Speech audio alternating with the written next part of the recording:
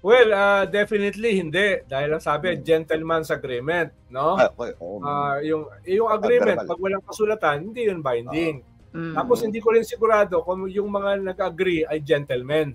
No?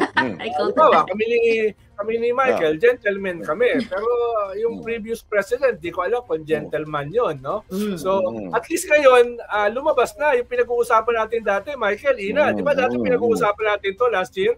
Pero walang kumamin eh. Wala eh, wala talaga.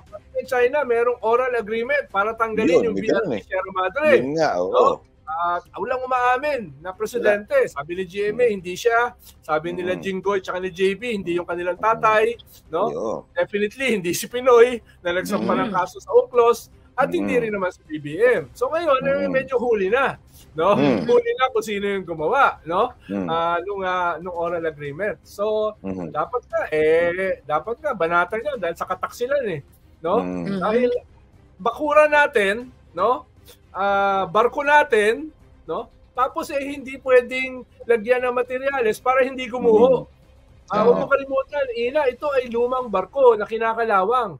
Eh dapat uh, talaga ito ay uh, ay uh, i-maintain. Mm. Oh, dapat mm. maintain. Kundi ay hindi lamang uh, matetetalos yung ating mga mm. Coast Guard, hindi ay baka gumuho ito, no? Mm-hmm. Eh bakit naman papayagan ng isang sitting president ng Pilipinas na ipagbawal ito or uh, mm. wag gawin, no? Mm. Uh, medyo totoo na yung sinabi ng China na meron sila nakausap na Philippine president na nag-agree na tanggalin ito.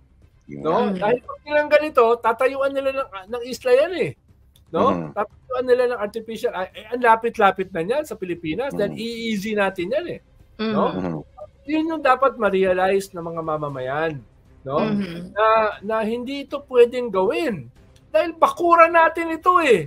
'Di ba? Bakura natin. Bakit bakit pinayagan ng isang uh, presidente, in this case si Duterte, no, na hindi i-reinforce yung lugar ng ating mga Pinoy na mga sundalo, no? Na malinaw teritoryo natin.